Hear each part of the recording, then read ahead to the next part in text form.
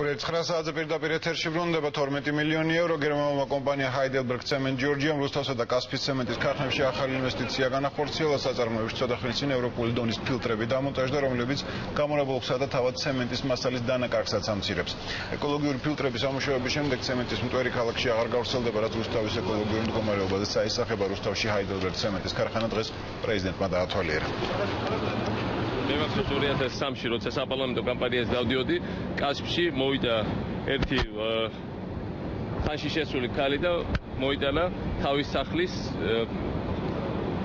თავის სახში მოჭრილი თავის ეზოში მოჭრილი ტოტები რომელიც იყო სულ გამურული კასპის ცემენტით მიერ გამოყრილი გამობოლქვილი ნიუტიერებების და თქვა რომ აი შვილი შვილები და თელი ოჯახი მეწამლება და თელი მიწა მეწამლება ამ კასპის ცემენტის მიერო და რამე გვიშველეთ.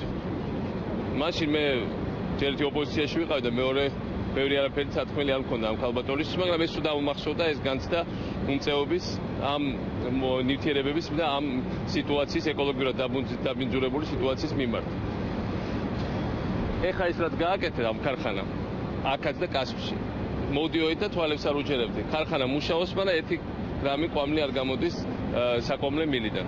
და ეს ნიშნავს, რომ ეს არა მხოლოდ მოდერნიზაცია აწარმოებს, არამედ ეს არის არსებითად უსაფრთხო და ადამიანებისთვის ძალიან სასარგებლო წარმოება, იმიტომ რომ ასაქმებს ხალხს. რამოდენიმე დღეა რაც გაუშვით ჩვენ ფილტრი და ფაქტიურად დაჭერის პროცენტი არის 100% და მტვერი 1 გრამი გარეთ არ გაიყორცდება. ეს დაჭერილი მასა ბრუნდება ღუმში ხელმეორე